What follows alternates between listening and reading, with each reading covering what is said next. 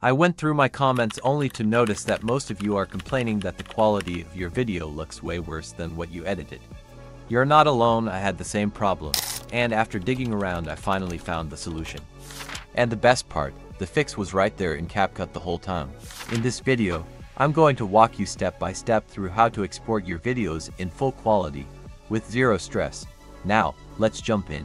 So first let's start a new project in CapCut. So click on Start New Project.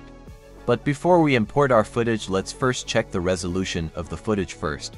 So let's minimize CapCut's window first. So this is the video I will be using for this tutorial so let's check the resolution and frame rate of this video. So let's right click on the footage then click on properties. Then after that let's go to details. And as you can see the details of this video is right here, including the resolution, frame rate and the length of the video.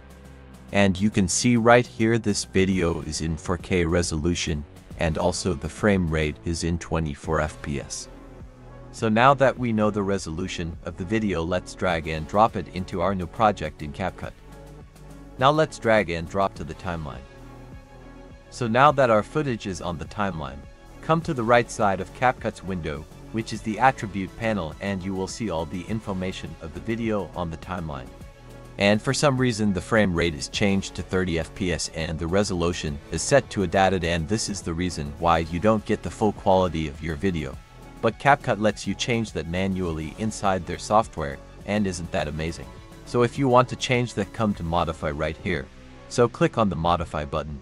Now this window will open and CapCut lets you change the resolution and frame rate to the, the actual resolution and frame rate of your video. So let's start from the resolution so click on the drop down and click on custom so if you can check the resolution and the frame rate, just follow the steps I showed you early to find it. Now input the resolution here. Then go to frame rate and the choose the same resolution your video is in. Now when you are done click on save. And if you come to the attribute panel, you can see the resolution and frame rate is changed to the original one as the video you are editing. And that's it. Now you know how to keep your videos looking crystal clear when you upload them to YouTube.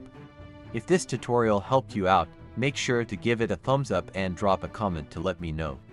I've got more tips and tricks coming your way, so don't forget to subscribe and hit the bell so you don't miss the next one. Thanks for watching, and I'll see you in the next video.